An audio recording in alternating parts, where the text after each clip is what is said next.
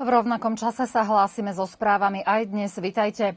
Prvá správa z polície. Príslušníci ministerstva vnútra v Starej Pazove chytili 38-ročného MD kvôli podozreniu, že sa dopustil trestného činu nezákonného obchodovania s tovarom podliehajúcim spotrebnej dani.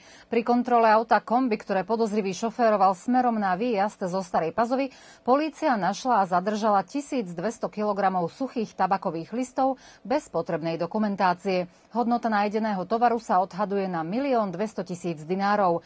MD putoval do cely predbežného zadržania a čaká ho výsluch na základnom verejnom súde v Starej Pazove.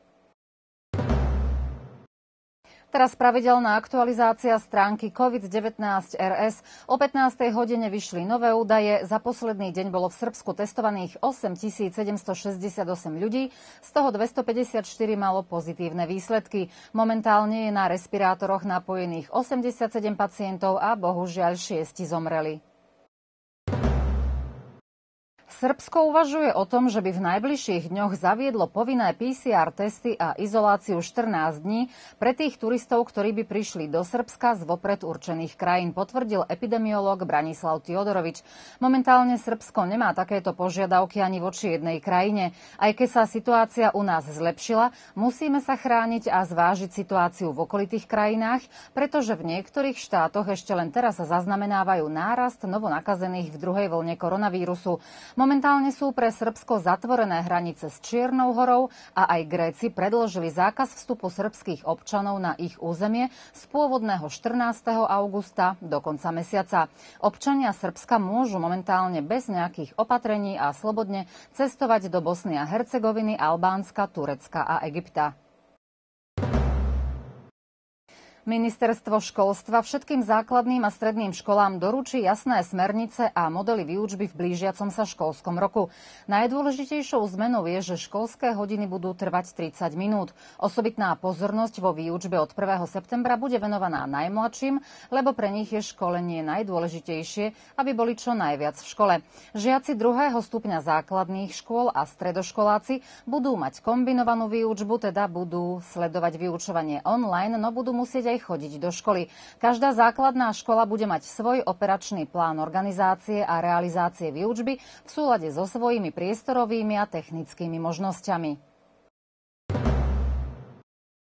Spomínaná druhá vlna pandémie sa začala dvíhať aj na Slovensku, kým v posledných týždňoch bol denný nárast novonakazených okolo 10 či 20 osôb.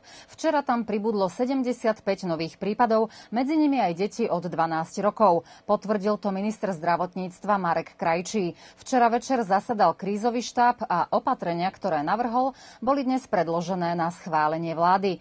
Epidemiológovia neočakávajú, že sa budú celoplošne zatvárať obchody či reštaurácie, ako to bolo na jar.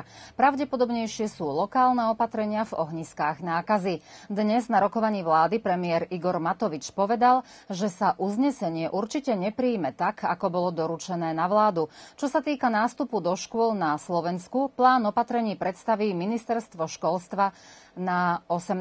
augusta. Minister zdravotníctva Krajčí uviedol, že pred nástupom do škôl aj do predškolských zariadení by mali žiaci odovzdať čestné prehlásenie o tom, že nie sú infikovaní ochorením COVID-19 a tiež, že neboli v zahraničí 14 dní pred nástupom do školy a že sa nezúčastnili na tábore s medzinárodnou účasťou.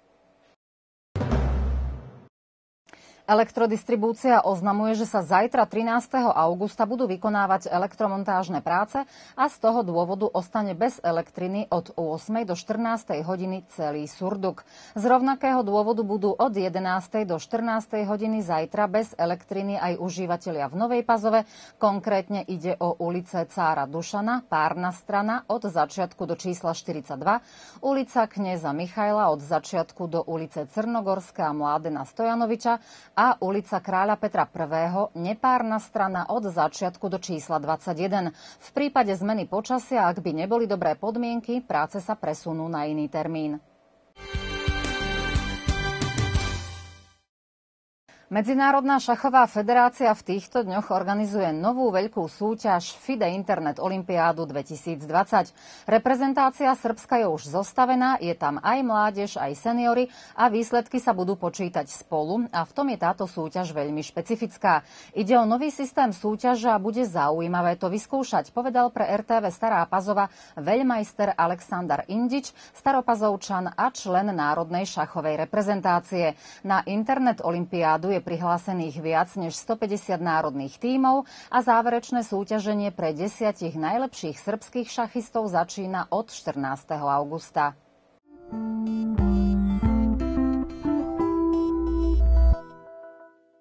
Štvrtok teplý, slnečný, obloha bez mrakov, hodnoty na teplomery od 19 do 32 stupňov a slabý vietor pocítime zo severovýchodu. Počas takéhoto jasného počasia môžu meniny oslavovať dnes Darina a Dáša, zajtra Ľubomír. Blahoželáme. Na dnes to už bola bodka z našej strany. Ďakujeme, že ste boli s nami. Majte sa pekne.